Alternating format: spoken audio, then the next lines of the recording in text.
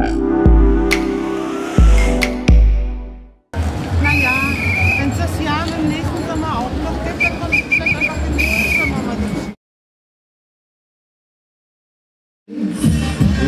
On a Monday, run us on a Tuesday, Wednesday, Thursday, run it on a Friday.